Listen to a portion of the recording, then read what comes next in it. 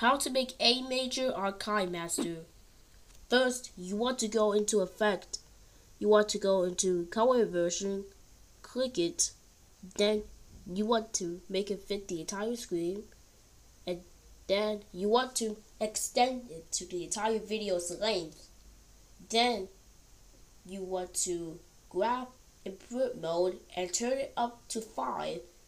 Then you want to grab Swirl 2.0 and make it fit the whole screen again and set the radius to 50 and the strength 10.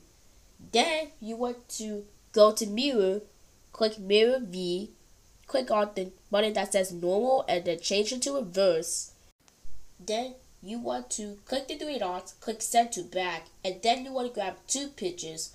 One of them is going to be plus 6, and the other one is going to be plus 5 with roll volume and kid voice changer. And then you want to save it to your gallery by clicking that button at the top right and then clicking save to save to video. And then after you save it get the saved version and then you just flip it horizontally. And that's it